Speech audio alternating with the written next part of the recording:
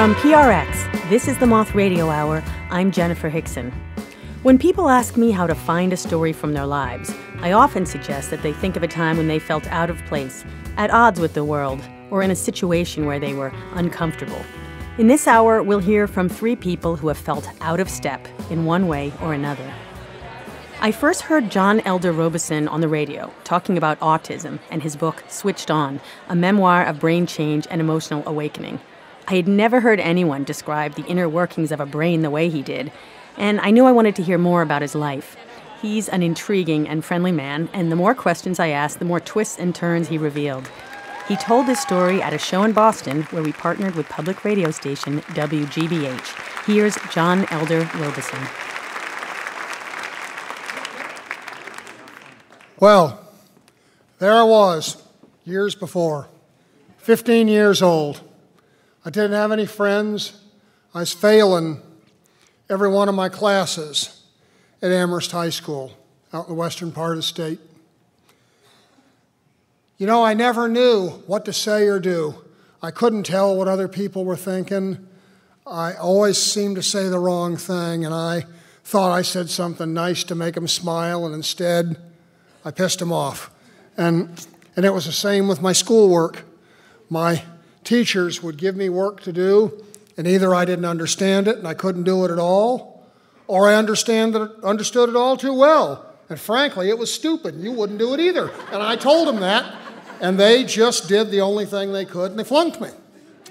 And uh, anyway, I could see I wasn't getting anywhere, and I resolved to drop out of school and do something else. And uh, this was, you know, the 70s, and uh, I had a guidance counselor. And in his supportive way, he says to me, Boy, you drop out of school, and even the Army isn't going to take you because Vietnam's coming to an end and they won't take high school dropouts and losers. And so, encouraged by that advice, I decided that I would, uh, I would do what millions other people did. Running off to the circus is what they did in the last century, but in the 70s, kids like me, we dreamed of joining a rock and roll band. Well, millions of young people dreamed of being that guitar player, being a singer up on stage. I didn't have any friends. There's no way I was going to be friends with a million people out there in the audience. And, uh, and I didn't have a dream of being the singer and the star on stage. Instead, what I had was an interest in electronics, and I had taught myself how to fix and repair and modify and eventually build guitar amplifiers and sound effects. So, where all those other kids thought that they could become the rock and roll superstars, and they ended up waiting on tables, I thought I'd be the engineer that would make their amplifiers work, and I never didn't have a job. And, uh, and I joined local bands and I started working for bigger and bigger bands. And I got hired by a company called Britannia Row, who was back then Pink Floyd's sound company. And uh, that brought me out here to Boston, playing what I thought was big rock and roll. I was right down the street here at the Orpheum Theater with the Kinks and with Talking Heads and Roxy Music and one English act after another. And, uh, so one day in the studio down there, this fellow comes in, and we were, we were doing some work with him, and he comes in, takes out a guitar, and he starts digging at it with a chisel. And, and I had always been unable to deal with other people, but I had a great love of machinery, and I couldn't stand to see him destroying that guitar. And I wondered what was the matter with him, and I went over and I asked him. And he told me he wanted to make the guitar blow fire. And, uh, and I just was thinking, well, I better get it out of his hands before this crazy musician destroys it. And, um, and I said, well, I could do that, and I could do it professionally. and you know, I couldn't ask a girl the time of day, but somehow I could tell this famous musician that I could fix his guitar professionally. And, um, and the fellow was uh, Ace Frehley a kiss, and he turns to his roadie after talking to me a few minutes and he says, Tex, have Gibson send this guy a guitar right away. And, um, and so they did. And took it home. And, uh, and me and some of my friends, because I had a few friends by then, we, we got together and we made that guitar blow fire. And we went on to make every guitar Kiss put on a stage back then that shot fire, shot rockets, lit up and exploded. We made them all in Amherst, Massachusetts. and, um, so, so anyway, there I was. I was in my early 20s, and I'd been a total loser in school, but the world of musicians had welcomed me. It didn't matter what I looked like or what I sounded like. I could say the craziest, dumbest things at all. It didn't matter if I couldn't talk to girls, if I could talk to guitars. That was good enough because if you could make beautiful music, you were, you were welcome in that world. And people started inviting me to do other stuff. They invited me to start making stuff for movies. And I got asked to go interview for a job as director of research at this new company back then called Lucasfilms. So I, uh, I looked to see where they are, and you know, and they're in Los Angeles, and there I was in Western Massachusetts, and uh, and I thought to myself, these people do not know that I'm a high school dropout. They don't know that I've been lying about my age since I was 16 because the drinking age was 21 to play bars. And, I, am going to go get a job out there. And they're going to discover that I'm just a, a high school dropout and a loser and a total fraud. And they're going to fire me and I'll starve to death out there in California. And I know to tell you that, you know, today, um, it seems crazy, but that's what I believed. And I thought to myself, well, boy, you can't keep this going. You're just total failure. You've blown it in music, and I better start doing something else. And I started a business fixing cars because I figured fixing automobiles, nobody cared where you came from, and I could just do what I wanted. And so I started doing that, and fixing cars actually gave me something. It gave me the ability to talk to people because the first time in my life I had to talk to somebody nicely enough that they would want to come back a second time, because that's the nature of being in business. And, um, and I got to know some of the customers who came in because our car business prospered. And I turned out to have a sort of a touch with automobiles, just like I did with guitars and electronics. And uh, I got to know this one fellow who came in over a few years who was a therapist with a Land Rover. And um, and I would, uh, I would say to him while the Land Rover was in being fixed, I, I would tell him, you know, a lot of times customers come in and, and I don't know what to say. And, and they say things to me like, Don't you know how to talk to somebody like me? Don't you realize the customer's always right? And I would think to myself, what kind of crazy shit is that? The customer is not always right. If you knew the answer, you wouldn't be here. And so I thought I was truthful. And, and he, would, he would explain to me that sometimes customers didn't see things the same way I did.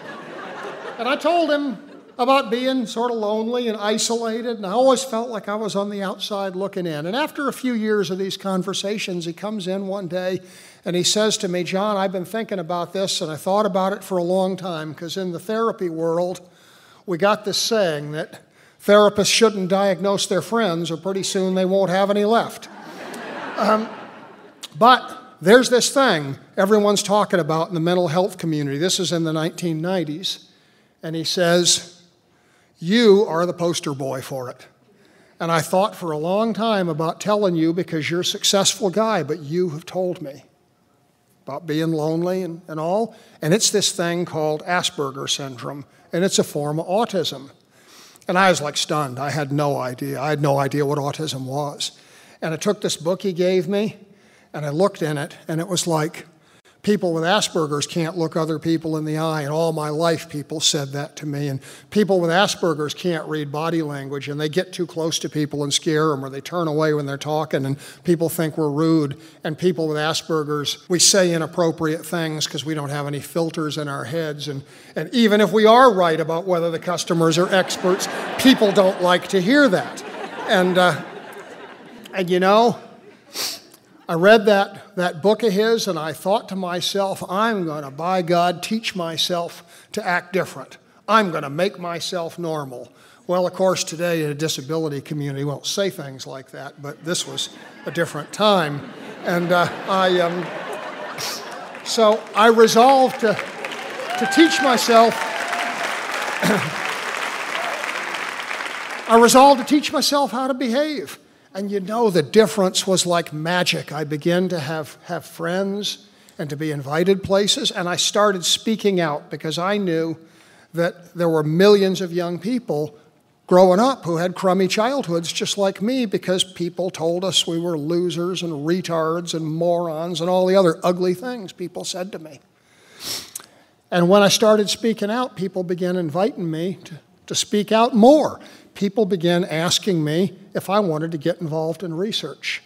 So, some folks from Harvard Medical School right here in town came to me and they said, We'd be interested in your autistic perspective in a study that we want to do to use a new tool to see if we can help autistic people read emotions in other people. And they were just sort of looking for me to endorse it, but I heard that and I thought, boy, that's the thing that's been wrong with me all my life. Of course, they didn't know that. And I said, where do I sign up? And, um, and they brought me into the, the lab. And they sat me down in front of a computer and they said, We're going to show you these faces on the screen, and you just have to push the buttons. Are they happy? Are they sad? Are they jealous? Are they angry? And the faces flashed in front of me, and I had absolutely no idea what I was seeing. And I thought, I flunked it before we even started. And they said, No, not at all. What we're going to do is we're going to stimulate you with this, this machine. It was a thing called TMS that we're going to fire pulses of electromagnetic energy into your head with this, and, and afterwards, we're going to test you again and we're going to see if the responses change. And they sat me in a chair and they fired this TMS into my head for half an hour. And, and my brain was just kind of in neutral the whole time. And then it stopped. And it's like, hurry, come on, we got to get you in and we got to test you before it wears off. And so I go over and I, I sit down and they show me the faces again. And it's exactly the same. I got no idea what I'm seeing. And I thought, what kind of a crazy fool was I to think I could, I could go to a hospital and these mad scientists could do something to me and it would change me. Now it was, you know, Beth Israel Hospital and Harvard Medical School. They were really good mad scientists, but even still. So I get in my car to drive home. And, uh, and driving home, I always would listen to old music and I put on this recording of Tavares. Uh, some of you might remember Saturday Night Fever. It's a huge movie back in the 70s, and Tavares sang More Than a Woman and a number of the other songs on that. But before they sang in that movie, they sang in clubs right here in Boston because they were guys from New Bedford. And, uh, and I played a recording of them. And you know, it was like I was back in 1977 again. It was like all the years just fell away and, and it was so real. It was like I could smell the cigarette smoke right there in my car. And, and you know, all the years I engineered rock and roll, and people told me I did such a great job of delivering beautiful music, and I could never feel it. It didn't make any difference to me what we played. And that night, as that music played, I could feel it that these were love songs. They were stories written for real people. And, and I could feel it for the first time. And I got home and it made me cry. And it didn't make me cry because, you know, what didn't make me sad, didn't make me happy. It just was like overwhelming. And I wrote to the scientists and I said, that's some powerful mojo you got in that machine. and, uh, and, you know, it really was like a dream come true. I thought I could, I could see and I could feel emotions in people. And I thought it's going to be magical, it's going to be beauty and sweetness and light. And of course, it wasn't. It was, it was fear and anger and jealousy and all the bad emotions that fill the world. And I thought, well, shouldn't I have known? They say the news is nothing but bad news, and that's what life is. And, uh, and yet, the thing that I had wanted had come true. And, um, and as I learned to live with with being different. And, and this, was, this happened all to me eight years ago. As I learned about that, I realized that it was being different. It was being that freak that didn't have any friends but could talk to guitar amplifiers. That was the thing that made me special in the world. And I always thought what I want most of all is to be normal. But, but my wish to be normal, it was just like a crazy fantasy. It was like I want to be like everyone else. And, and of course, being that way is throwing away the one thing in my life that made me successful. And it was really, that was the thing I learned from my time with those scientists was that people like me are complete functional humans. We are not broken versions of someone else's normal. And we're okay like we are. So thank you.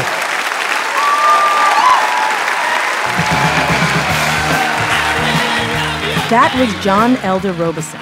He's the author of four books Look Me in the Eye, Be Different, Raising Cubby, and Switched On. John is also the neurodiversity scholar at the College of William and Mary in Williamsburg, Virginia, and a fierce voice for autism awareness. John still oversees his business, restoring Bentley, Land Rover, and Mercedes motor cars in Springfield, Mass. And needless to say, John always rolls up in style. I gave John a follow up call at his shop, and here's a part of our conversation. John, you told me once about uh, a thought you had about calculus. Because did you try and well, did you try and study calculus at school? So when I was a um, a kid in high school, I failed all my math classes because I couldn't understand the mathematics as they taught it in books. But I was fascinated by electronics and music and sound waves, and I taught myself um, how electronic circuits manipulated sound waves, and I eventually taught myself how to make sound effects um, based on the experiments and, and the imaginings in my mind. And, and when I worked for Britannia Row, Pink Floyd Sound Company, and I worked for Kiss, and I worked for other rock and roll bands creating these effects, I always thought that I was inferior to a real engineer who knew math. And I thought to myself, I don't know math.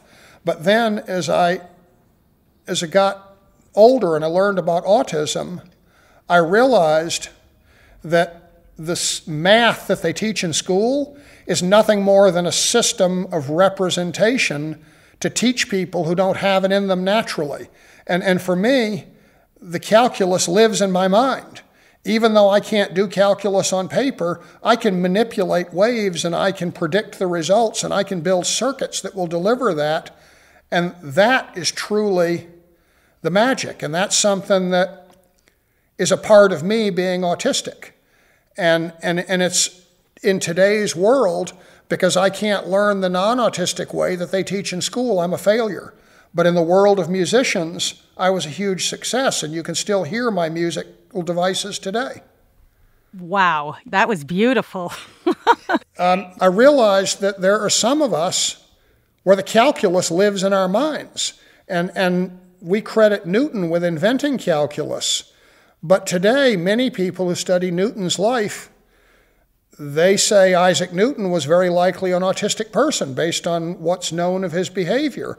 And, and when I hear that, I think, okay, well, maybe Newton didn't invent the calculus. Maybe Newton was just an autistic guy like me, and he looked at the waveforms of ripples on ponds and in other places where he saw waves, and he imagined a mathematical system to predict those changes and movements of waves that was understandable to other people who didn't have the gift of doing it in their heads.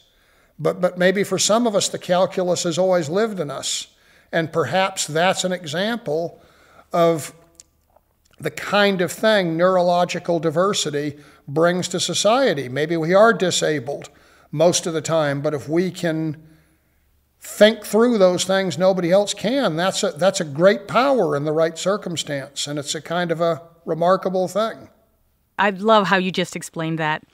So, John, you you told me one time about. Um, is it wrong to call it a sixth sense that you have, um, a way that you have of hearing what's what's happening inside a car?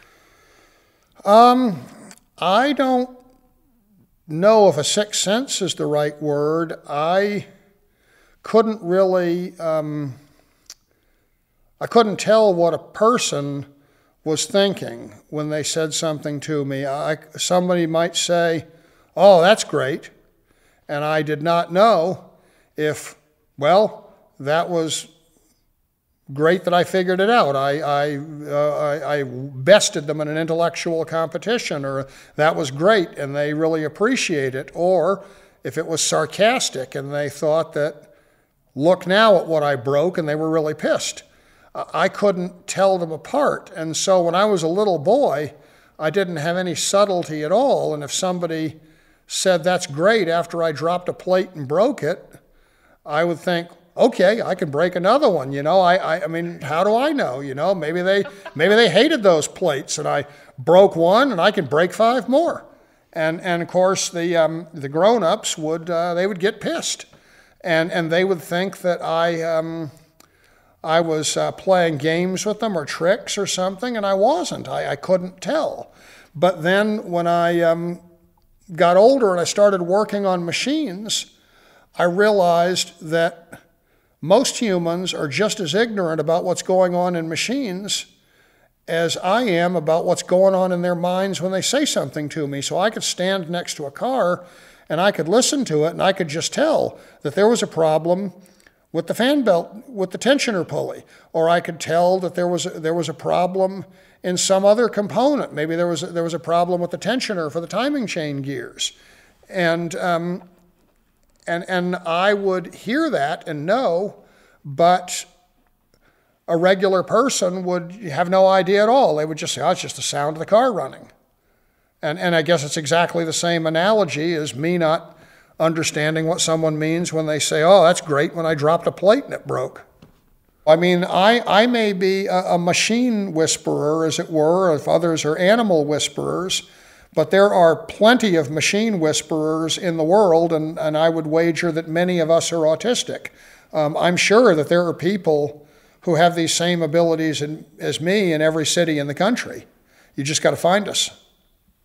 You know, the, right. the CDC says that one in, in 30 guys um, has some level of uh, autism like me, and fully 13% of our population is neurodivergent in some way, whether it's with autism, ADHD, dyslexia. So, frankly, there's a shitload of us, and we're everywhere. And, um, and, and I'm by no means unique, even if I can't diagnose your car's noises over your telephone right now. I like that you're sharing. You're sharing um, the spotlight with other people, but come on, you're pretty badass. That was John Elder Robison in Springfield, Massachusetts. To see a picture of John and Ace Frehley of Kiss with one of the special guitars John worked on, visit themoth.org, where you can also share this story or any of the stories you hear on the Moth Radio Hour. Next, we'll hear about an upheaval in a middle school in Portland, Oregon, when the Moth Radio Hour continues.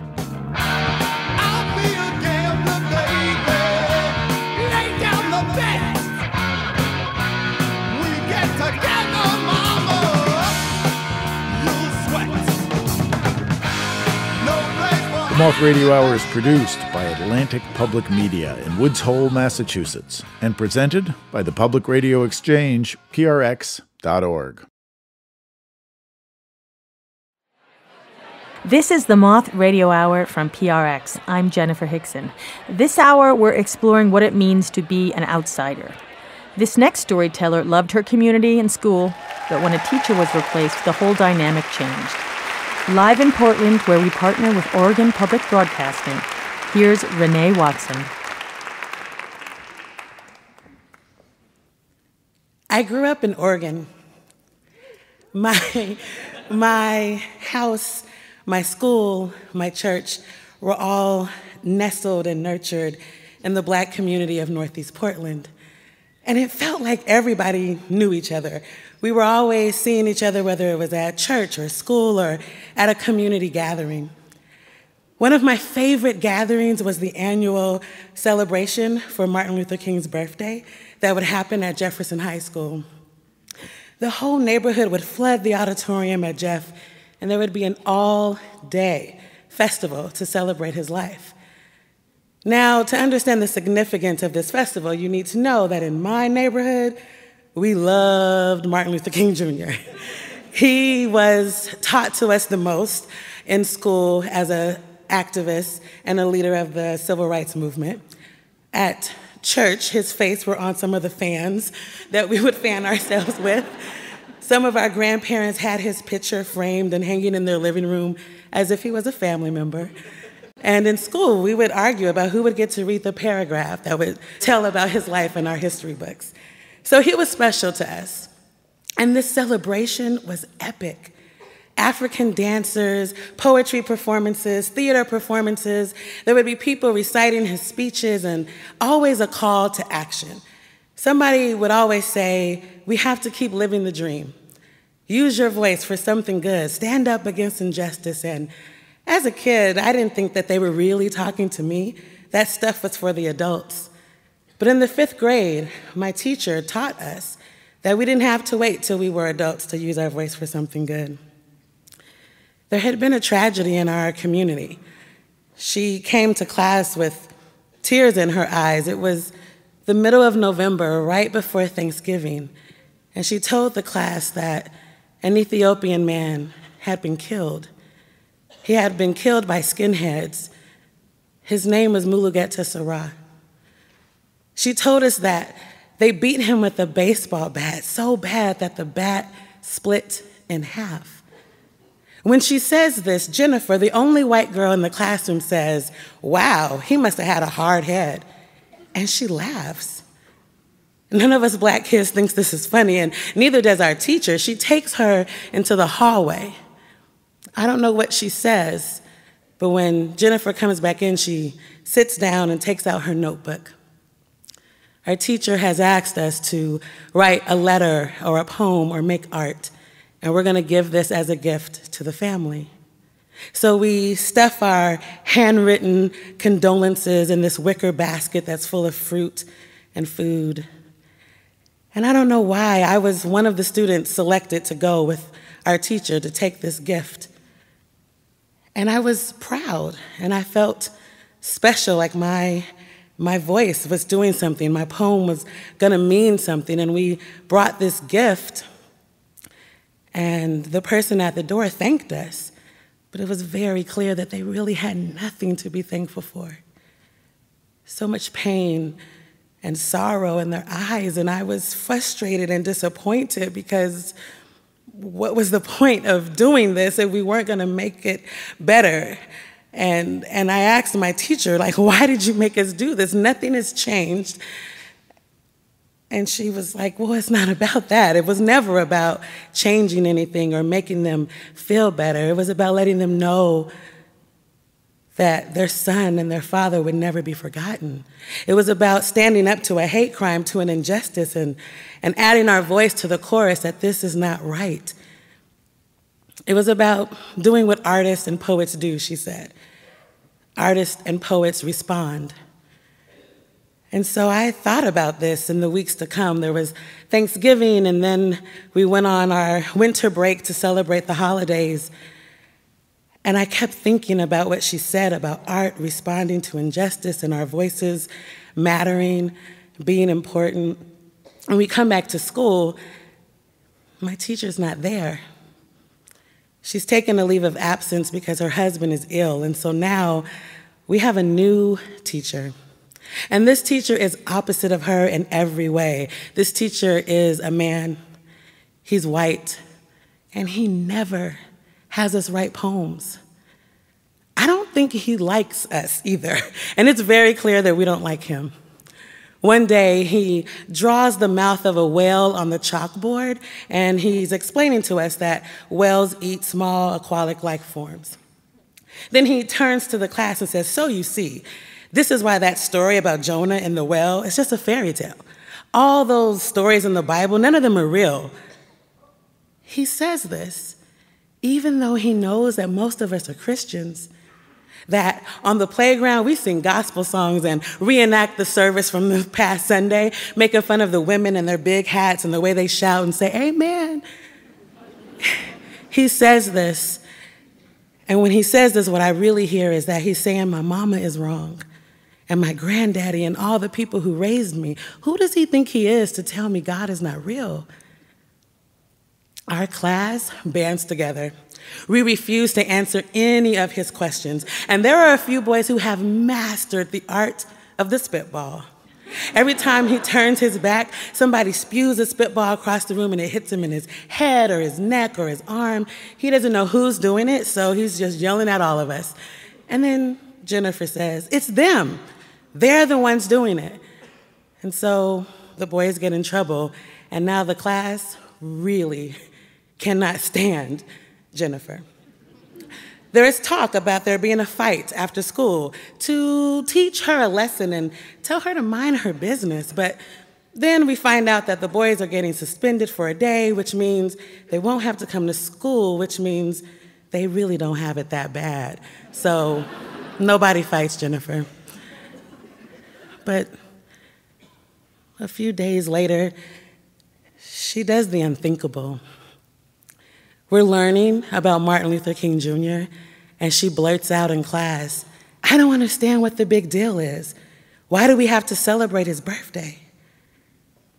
I wait to see what my teacher's gonna say.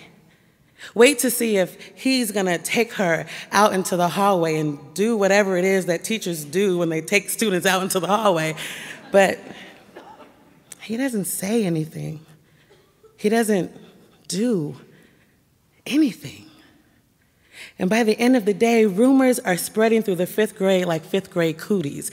Everybody is saying that Jennifer hates black people, that she says she wishes slavery never ended. The rumors are brutal.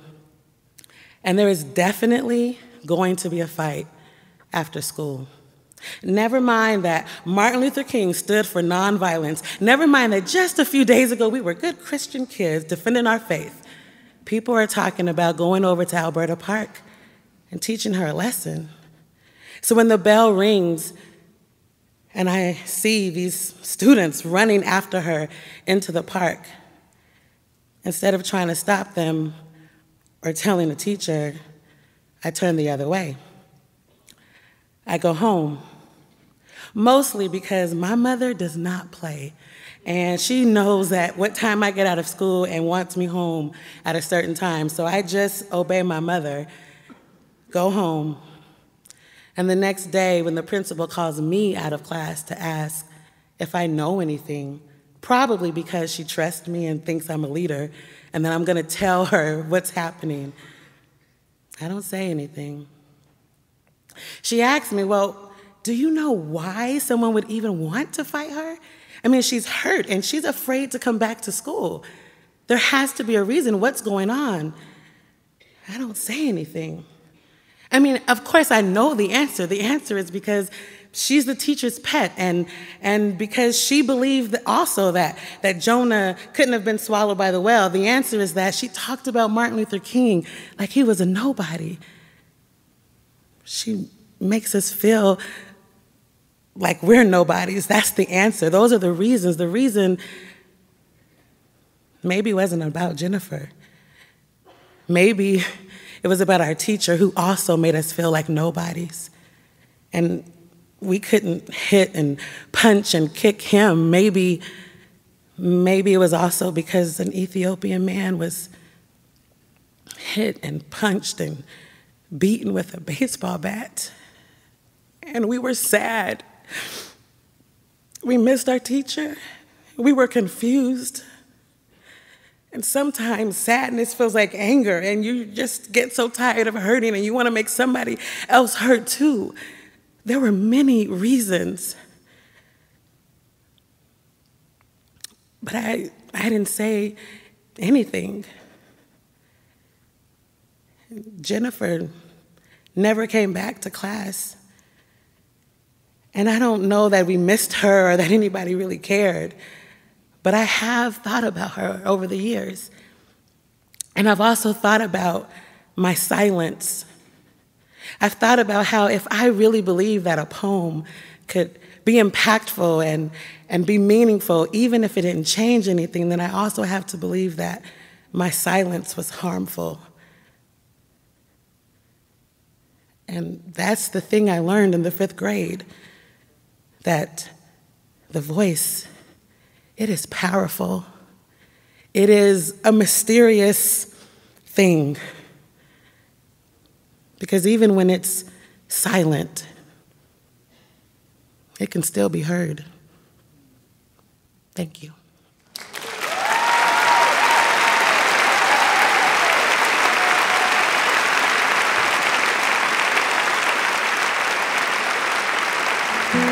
That was Renee Watson. I'm happy to report that Renee grew up to be both a teacher and an award winning author.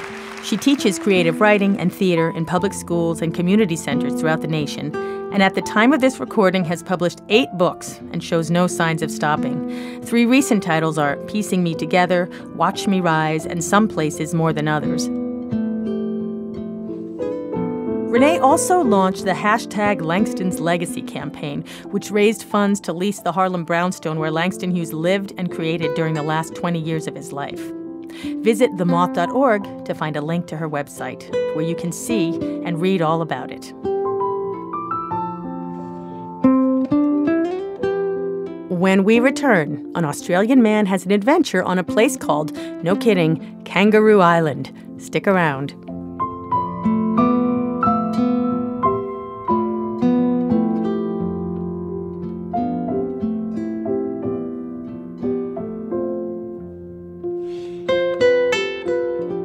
Moth Radio Hour is produced by Atlantic Public Media in Woods Hole, Massachusetts, and presented by the Public Radio Exchange, prx.org. You're listening to the Moth Radio Hour from PRX. I'm Jenifer Hixson. This next story is from an Australian, Jon Bennett. He grew up in a small town, but now travels the world performing his highly energetic comedy shows at festivals and theaters and churches and barrooms and really any place that invites him. On a scale of 1 to 10, I'd say Jon's typical onstage energy level is about 15. When telling his moth story, I asked him to dial it back to a reasonable 11 so the microphone wouldn't blow out. Of course, he went to 12, and we loved it. Here's Jon Bennett live at a show in Huntsville, Alabama. Uh, so I grew up on a tiny little farm in the middle of rural South Australia. This tiny little pig farm with my three older brothers and my mum and my dad.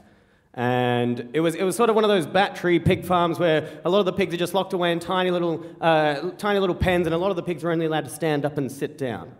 And when I was six years old, I uh, awoke in the middle of the night and I ran up to the pig shed and I set free all of the pigs.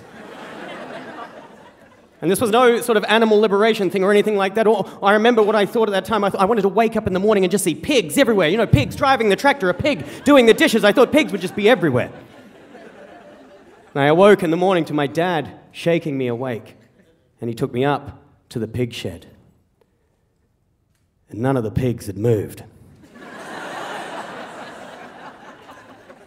and dad said, See, they want to be here.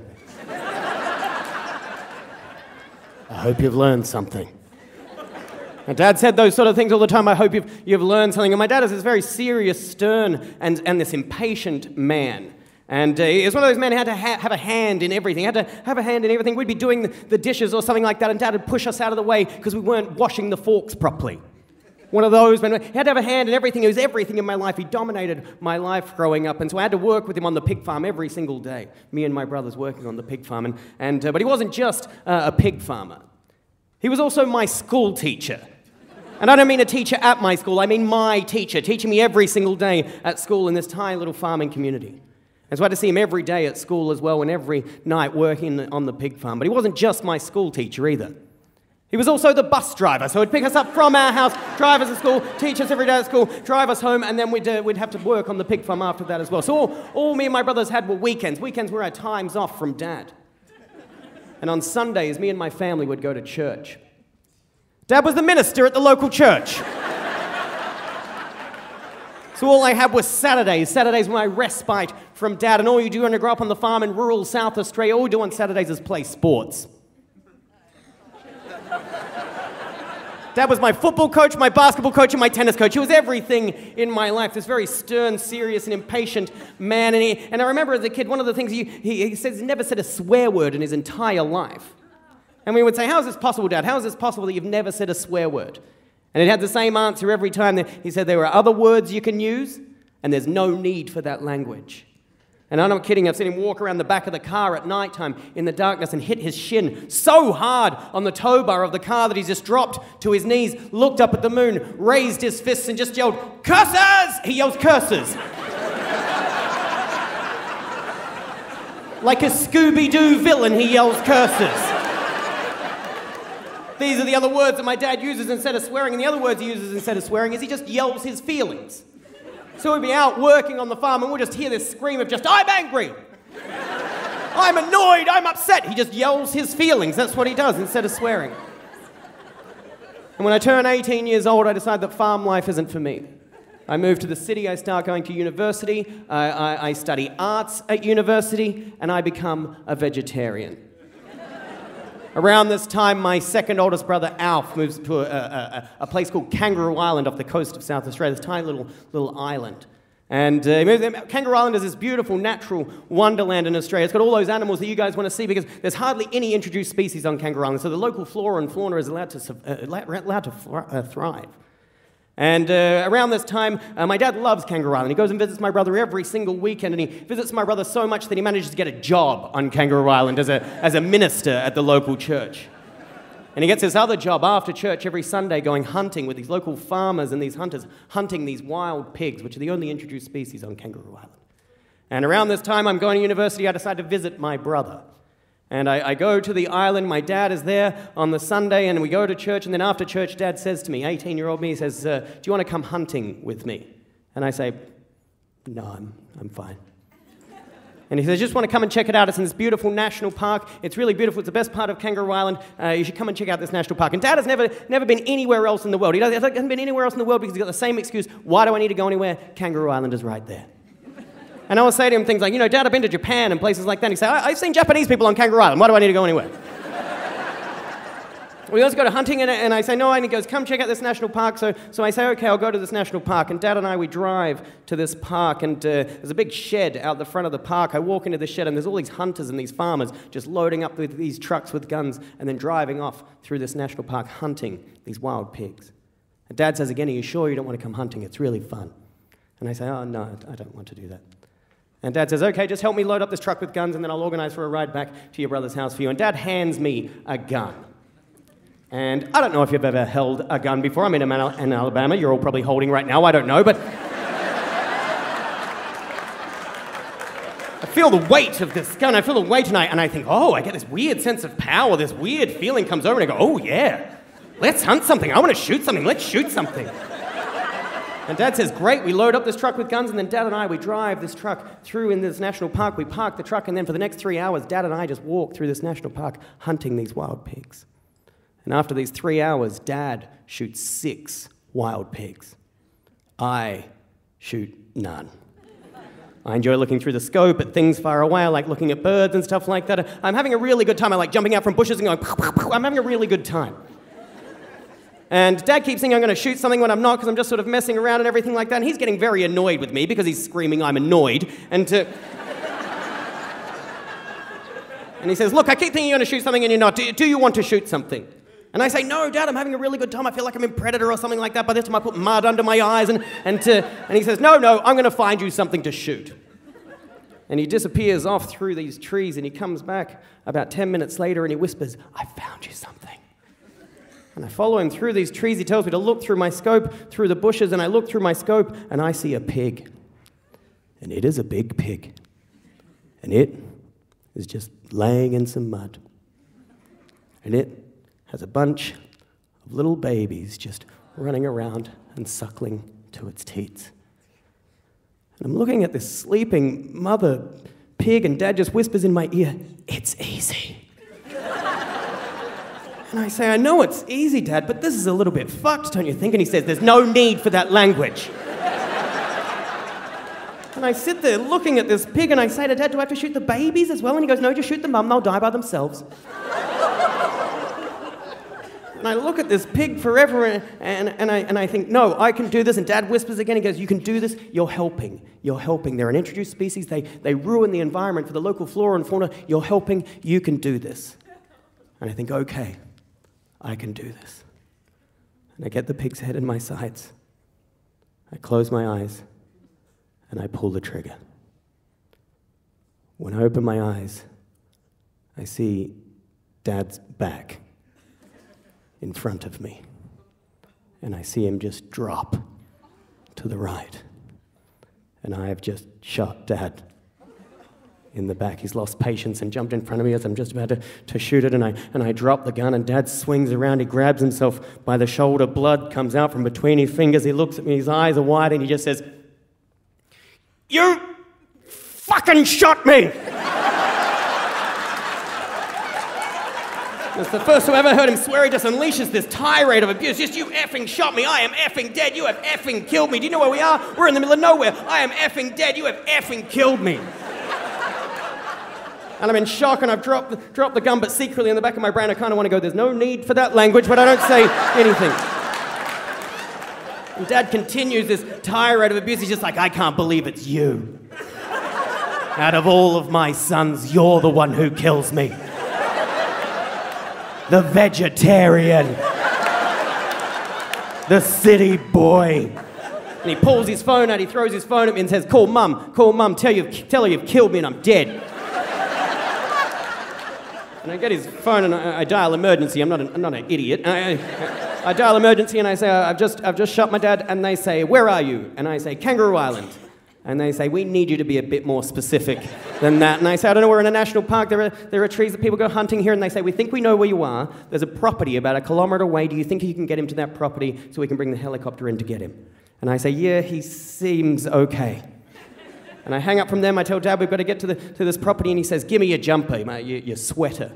And I take off my sweater and he uses the sleeve of my sweater to stuff into a hole in his chest. I have to hold the sweater into his chest as I carry him back to where we've parked the truck. I put him in the passenger side of the truck. I run around to the driver's side. I start the truck up and I can't drive a stick shift. And this is one of those big old trucks with one of these things on the steering wheel, and all I do is I grind it into a gear and bounce forwards and stop, and Dad screams in pain. I start it up, I grind it into a different gear, and we bounce forwards and stop, and Dad screams again and then says, Get out. I get out of the truck as Dad slides along the seat into the driver's side, leaving this trail of blood along the back of the seat, and drives himself to this property. Now, all they've told me to do on the emergency line is just to make sure that Dad stays awake, which is good now that he's driving.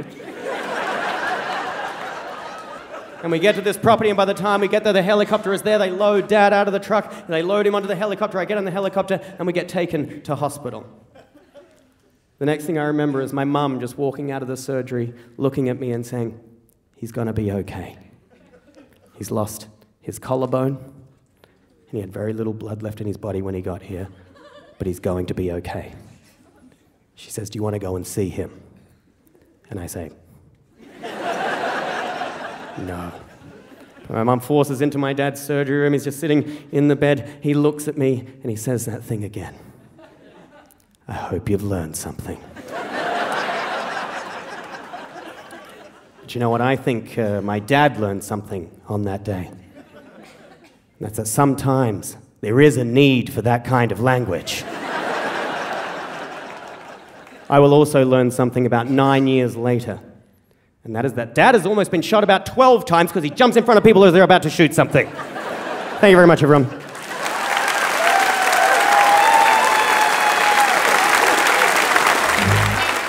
That was Jon Bennett. Understandably, Jon has not picked up a gun since that day. His father continues to hunt, but hopefully has stopped his dangerous habit of getting impatient and jumping in at the last minute. You can visit our website to see a photo of Jon and a link to his website where you can find out how to see one of his comedy shows when he blows through your continent. Do you have a story about feeling out of step with the world? You can pitch us your story by recording it right on our site, themoth.org, or call 877 799 MOTH. That's 877 799 6684. The best pitches are developed for moth shows all around the world. That's it for this episode. We hope you'll join us next time for the Moth Radio Hour.